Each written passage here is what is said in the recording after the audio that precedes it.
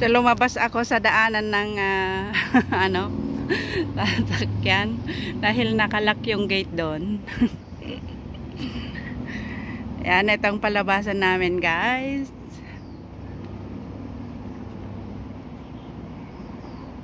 Ito yung view ng Park Yoho sa labasan. Ayan yung building na yan is ano na yan guys sa ano na, yun long plaza na. Ha? Nangyayari dito. Ba't naka-on? naka-on yung isa kumpon. so, saan ako pupunta? Left or right? Ayan, may mga nagbabike. Dito sa ano na yan, yan na ang labasan ng uh, ano, bus galing na sakyan ko sana. Pero hindi ako pumunta sa baba. Dahil balak ko nga maglakad sa kalsada guys.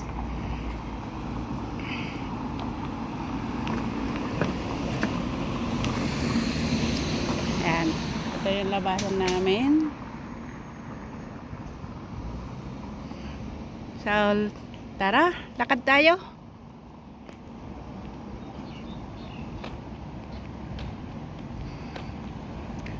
Pag uh, ko dyan guys, pagpunta dyan guys, may ano dyan, may kainan, may uh, ano ba yung parking shop kanan.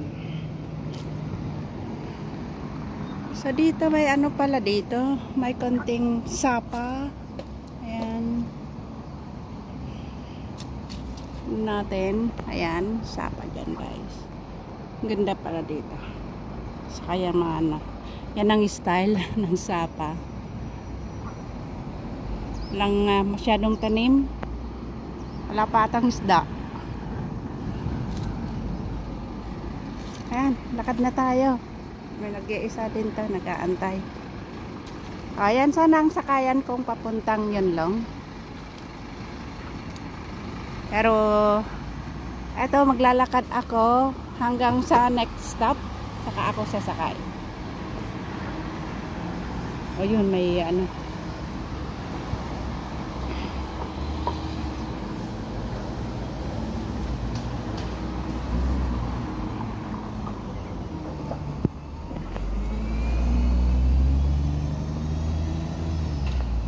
walang isda. Pero may frog na ano.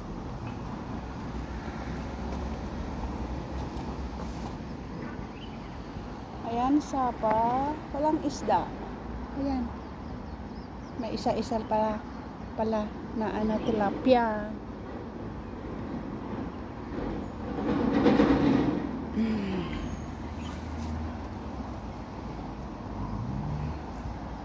So, tara, lakad tayo.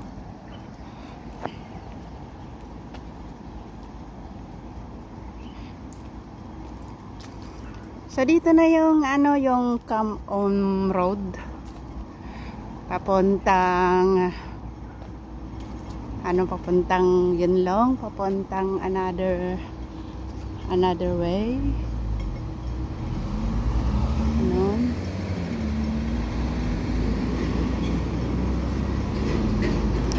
So makikita natin din sa kabila guys yung ano yung ay hindi ka masyado makita. Ayun yung ano Park Yoho papasok.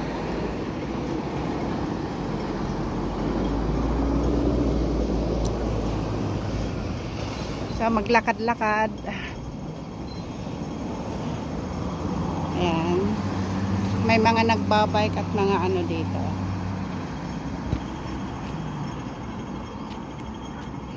So, ito yung mga mga ano natin dito sa Park Yoho na ano pwedeng pamilihan. Ayan. May 7-Eleven. Kompleto na rin guys dito. Ayan. So, mostly ito yung mga pwedeng pamilihan ng kakainin or ano, groceries. Pwede rin. Pwede ka rin na uh, mag-remit dito sa pamamagitan ng 7-Eleven. Yan. So, dito tayo sa kalsada, maglalakad. First time ko maglakad dito ngayon guys. Sa kalsada ng Park Yoho. Dati-dati sa aming ah, ano pinanggalingan doon sa ano Sherwood, ah, Sherwood, Sherwood ba 'yun? sa kabilang ano building is nilalakad ko lang papunta boarding namin kasi malapit sa Grand Del Sol. Meron din sakayan kaso nga lang uh, parang exa- exercise na rin pag naglalakad. Lalo na pag umaga. Ganun.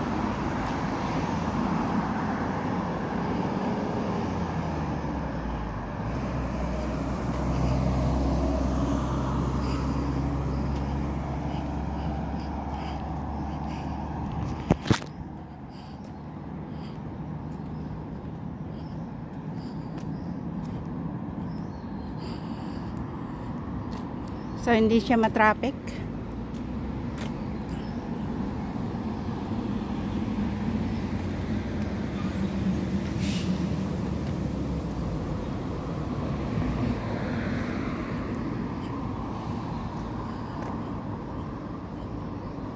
Ay, kalimutan ko pala yung stick. Sana kinuha ko.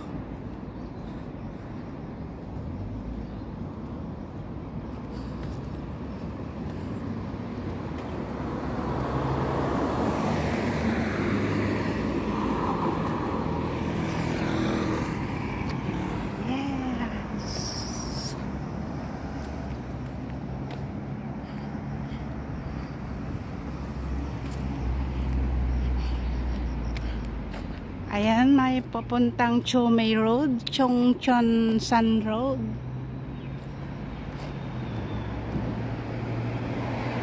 Ah, pwede na tayong ano. Ayan, may sasakyan. So, tignan natin yung river nila dito. Papunta dito. Kasi may kon... Ito yung nakikita rin sa aming likuran guys sa bahay. Lapitan lang natin yung river. Saka yung daanan ng MTR yon nakikita. Ayan.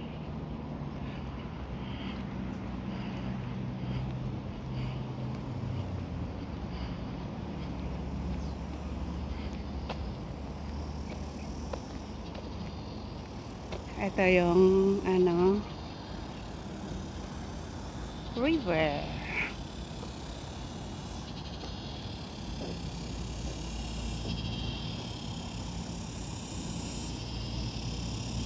Parang isda yun, no?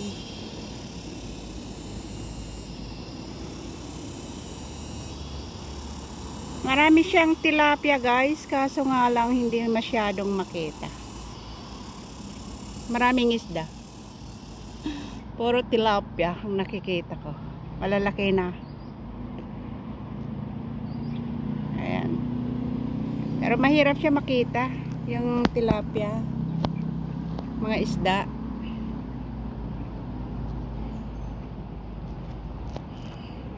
so dito sila kumukuha ng mga isdang paninda sa ano sa palengke dito. Mostly guys, hindi ako bumibili ng ano ng tilapia dito dahil minsan kasi nakikita ko dito yung ano, yung mga yung tubig hindi siya masyadong malinis. Gaano siya rito. Ayan. So yan yung brown na building na yan is uh, new ano, new building yan. Wala pang isang taon yan na ano ginagamit. Katatapos pa lang yan. Ayan, so yan, nakita na natin yung ano guys dito. Ayun, ang daming isda talaga. As in, napakarami. Pero hindi siya masyadong makita. Dahil istignan yung tubig. Lalaki na nila.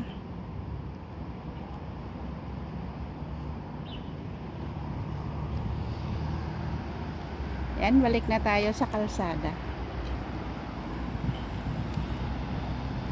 At malapit na rin ako sa second stop ng ano, ng bus stop. Doon na ako sasakay dahil malayo pa yung pupuntahan ko.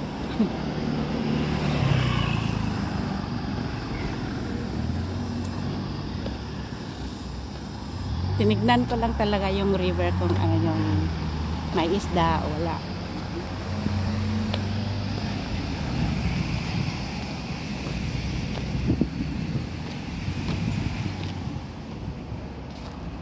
Shortcut.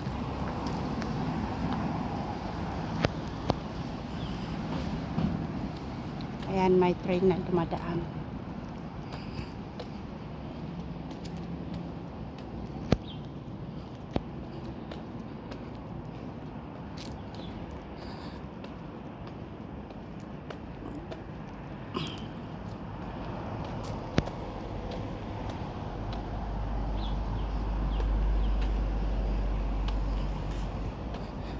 Ayan. Ang view ng river.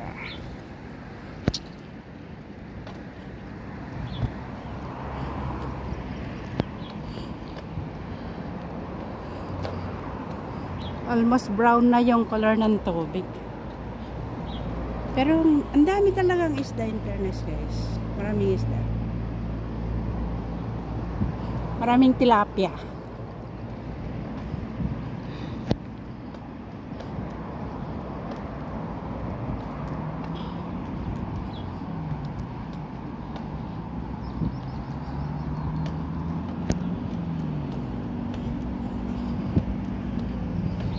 Ganda pala maglakad-lakad kahit nag-iisa.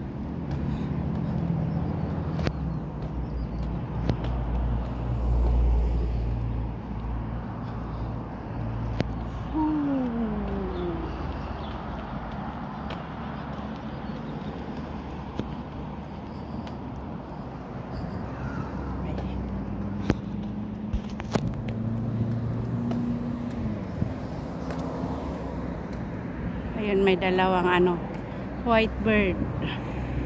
Pero hindi siya makukuhanan masyado.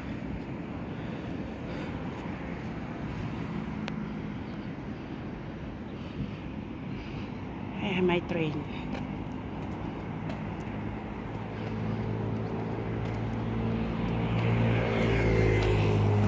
So actually guys, at night time dito nakikita yung ano, yung uh, pag nag uh, sa silent live ako, ito yung view nakikita dito. Ayan yung building na nakikita ng light at saka doon sa kabila. Yan yung brown na building. Saka yung building na yan. Ito yung daanan ng release ng ano ng train. Yan na nakikita natin. Wow, ang dami. Nakukuhanan yung ano. So, ayan guys. At uh, maraming salamat ulit sa inyong pag-tune in. Sana naman uh, subscribe and like my video. Have a nice day. Bye-bye. Ingat.